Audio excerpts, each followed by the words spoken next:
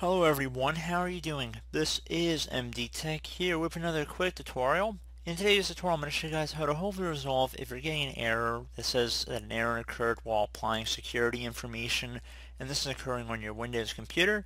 So it should hopefully be a pretty straightforward process here and without further ado let's go ahead and jump right into it.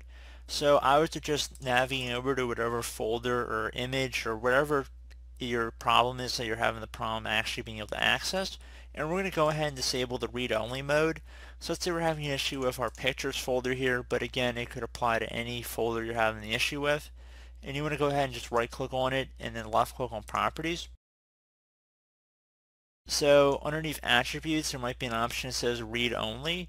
You want to go ahead and uncheck that, so if it's filled in, just uncheck it, and then left-click on Apply. And you may have to apply changes to this folder, subfolders, and files. Left-click on OK and then left click on OK one more time to close out of there. Close out of the File Explorer window or however you access the file.